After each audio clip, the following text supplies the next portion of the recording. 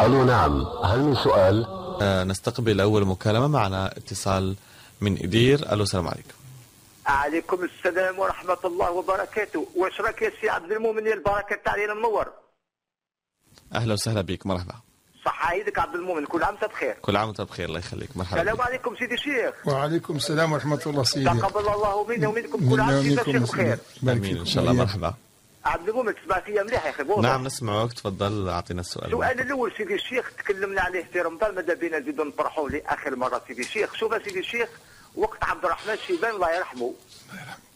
يقول يا ودي يقول كي تكونوا تصلوا مع الإمام وقراوا والتين والزيتوني يقول يقول عبد الرحمن شيبان آه، الله يرحمه في آخر آية هذيك اللي يقولها الإمام بلى نحن على ذلك من الشهيدين أو يقولنا قولوا قولوا بلى نحن على ذلك من الشهيدين بصح سيدي الشيخ أنا ما عنديش معلومات الكافية لا نقولوها في النافله ولا في الفرض.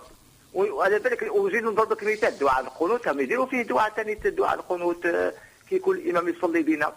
صح أنا واش همني همني كي يكون يصلي بنا الإمام العشاء ولا المغرب؟ مفهوم سيدي الشيخ؟ إن شاء الله. نعم. نعم. ونضرب لك مثال وقت صدام حسين الله يرحمه. آه، كي كان يصلي بنا الإمام كاش المغرب ولا عشاء. كيف كي كان؟ يدير الدعاء وحنا نقولوا آمين. ماذا بينا سيدي الشيخ السؤال الأول إذا نقولوا بلا نحن على ذلك من الشهيدين كيقرا الإمام والتين والزيتون في كيف في الجهر. الله. بسم الله الرحمن الرحيم. الحمد لله تعالى والصلاة والسلام على رسول الله. آه، السؤال الأول بعد سورة التين أليس الله بأحكم الحاكمين؟ فعلا أنا ذكرت في الجواب المرة الماضية أن من الشيوخ أو من المفسرين من يذكر بعد هذه اللفظة مباشرة بلا بلا هي جواب بالإثبات بالإيجاب بعد سؤال مسبوق بنفي. هذا من حيث اللغة العربية. أليس أليس الهمزة هذه أداة استفسار. أليس الله بأحكم الحاكمين؟ يعني نفي مسبوق باست يعني استفسار منفي. هكذا استفسار منفي. سؤال مبني مؤسس على النفي. نعم. فلإثبات آه، الصفة لله تعالى وهو الحاكمية يقول الإنسان بلى.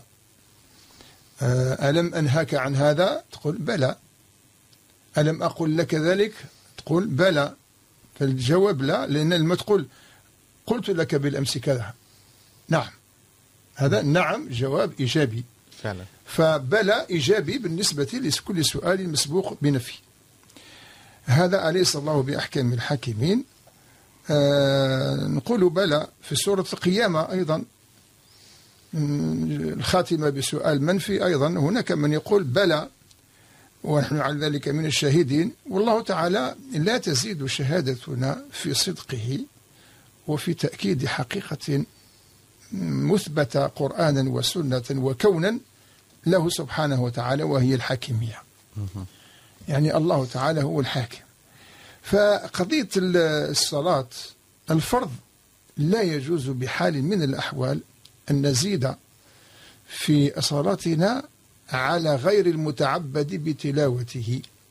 المتعبد بتلاوته بإخبار النبي صلى الله عليه وسلم وهو التعريف الذي اتفق عليه الذين درسوا القرآن وعلوم القرآن هو القرآن. السنة نفسها كلام الرسول عليه الصلاة والسلام حتى وإن كان حديثا قدسيا لم لم يتعبد بتلاوته. فكيف ندخل في عبادتنا ما ليس محل تعبد به.